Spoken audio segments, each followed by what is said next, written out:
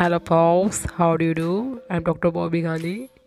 Welcome to my educational channel. Before I start my explanation video, I request to all to subscribe my channel, like it, share it with your friends, give me feedback under the comment section what you like and what you don't like so that I can rectify my mistakes here.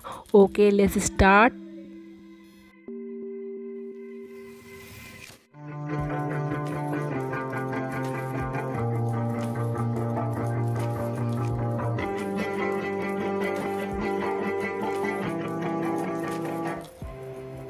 Twelve के बच्चों के लिए आज poem है Indian viewers Indian viewers मतलब होता भारतीय बुनकर, जो जुलाहा रहते हैं, करघे में काम करते हैं, उनके बारे में हमारी पोएटेस सरोजनी नायडू ने इस पोएम को लिखा है, भारतीय बुनकर इंडियन वीवर्स इस पोएम में थ्री स्टेंजर दिए गए हैं.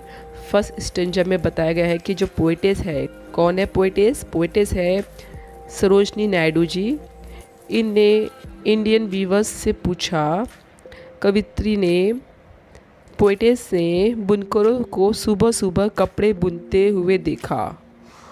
वह ये जानना चाहती है कि वे चमकीले रंगों वाले वस्त्र क्यों बुन रहे हैं?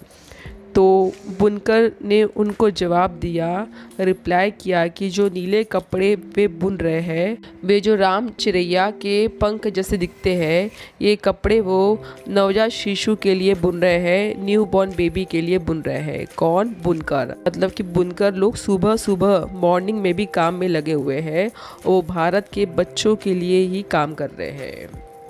सेकेंड स्टेज में दिया गया है पोइटेस ने बुनकरों को शाम को देखा तो वो शाम को भी काम में लगे हुए थे।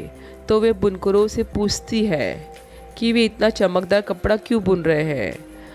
तो उन्होंने रिप्लाई दिया, उन्होंने उत्तर दिया कि जामुनी और हरी ओढ़नी, ये जामुनी और हरी ओढ़नी जो मोर के पंखों जैसे दिख रही है, एक रानी के लिए उसकी शादी होने वाली है, इसलिए हम बुन रहे हैं। मतलब कि बुनकर, भारतीय बुनकर शाम को भी काम में लगे हुए हैं और वो एक रानी के लिए क्वीन के लिए कपड़े बुन रहे हैं, जिसकी अभी शादी होने वाली है। थर्ड स्टेंजर में बताया गया है कि पोइटेस ने रात को भी बुनकरों को कपड़े बुनते हुए देखा। तो हमारी पोइटेस सरोजनी नायडू जी ने उन बुनकरों को रात को कपड़े बुनते हुए देखा तो उनसे पूछा कि रात को आप लोग क्या कर रहे हो? वे काफ़ी गंभीर और निश्चल है। कौन? बुनकर लोग। कवित्री, हमारी पोइटेस उनसे पूछती है कि ठंडी चांदनी रात में आप लोग क्या बुन रहे हो? तो उन्होंने रिप्लाई दिया हमारी पोइटेस को कि वे नरम व सफ़ेद कपड़ा जो बुन रहे हैं, वो कफन है, जो मरे लोगों के अंतिम संस्कार में काम में आने वाला है।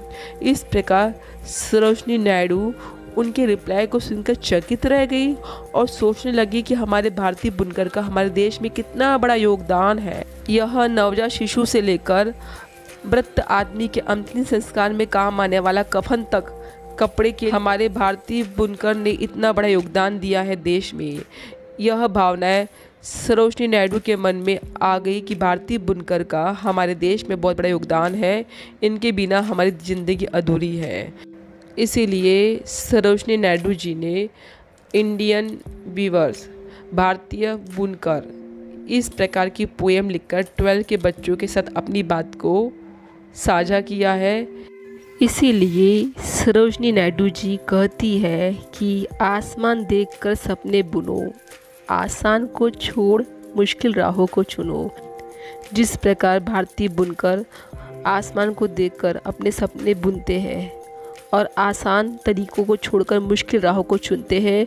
इस प्रकार, सरोजनी नायडू जी ट्वेल्व के बच्चों को मुश्किल राहों को चुनने के संदेश देती है। ओके, अब आप लोग बहुत पढ़िए और आगे बढ़िए। तो आप मेरी गाइड से ट्वेल्थ की गाइड से पढ़ सकते हैं। ये महाराष्ट्र की हर बुक डिपो में अवेलेबल है। और आपको लगता है मेरी ऑन लैंग्वेज में सीखना है तो आप ऑनलाइन सीखिए। इसलिए आप इसको रिपीट कीजिए बार बार इस वीडियो को और पढ़ते जाइए। All the best